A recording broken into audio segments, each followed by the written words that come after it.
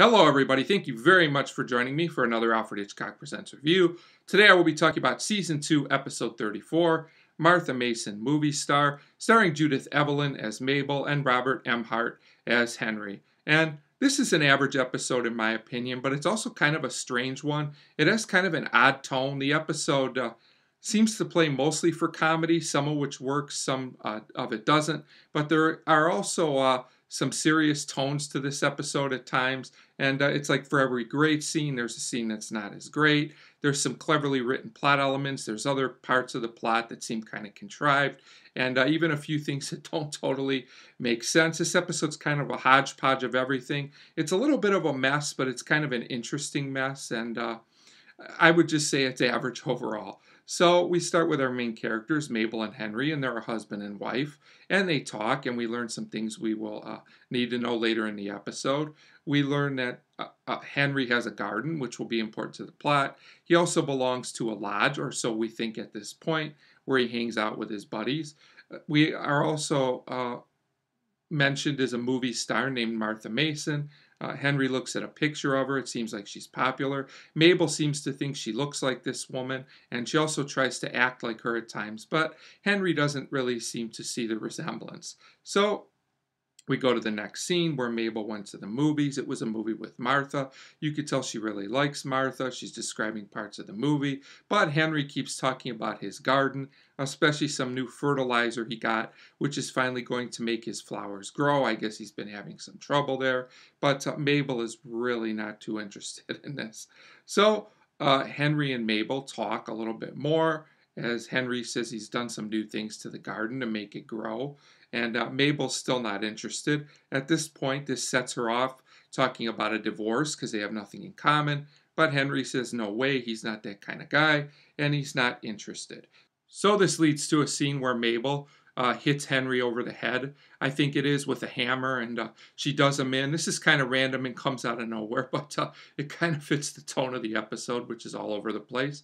So I guess it was fine. Then we get this strange scene where Mabel's talking to herself. We get to hear her thoughts, but this is the only time this narration is used in the episode, so I'm not really sure uh, why it's here. But uh, again, you kind of just got to go with it. It's another strange thing about this episode. It was fine, I suppose.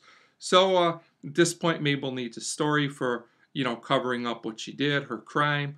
So she comes up with this letter that Henry left her for another woman. She types it up herself and signs it with his signature. Uh, although I have to say the letter doesn't seem very convincing, at least to me. So Henry's boss, Mr. Abernathy, comes by looking for him. He tries to comfort Mabel, but this really doesn't work, of course, because she's faking the whole thing anyway. Then we get another scene with uh, Mr. Abernathy and Mabel and they're talking about Henry, and he kind of hints that part of this might be Mabel's fault.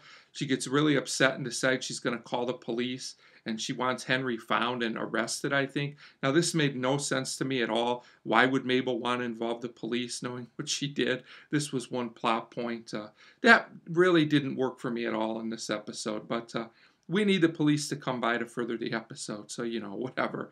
So the policeman comes over and he's pretty sympathetic, I have to say. The officer, he checks the note, the signature to make sure it's not forged, and he says it's okay.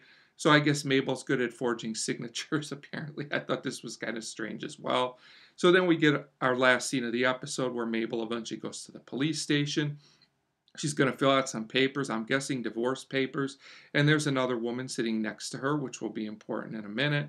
There's also this guy that's just sleeping, snoring on a bench that really had nothing to do with anything as far as I could tell. I actually laughed at this because I have no idea why this guy was here, but I did think it was funny. So at this point, we learned from this other woman that uh, Henry really did have another woman, which was her. He never really did go to the lodge on uh, these nights. He was always with this lady. So this is how the police knew that uh, Henry never left Mabel. And they also decided to dig up the garden because the flowers were growing. So I guess that fertilizer that Henry used really worked, and they found his body. So things probably aren't going to end too good for Mabel. So, like I said, this episode's kind of all over the place. Parts of it worked for me, parts of it really didn't.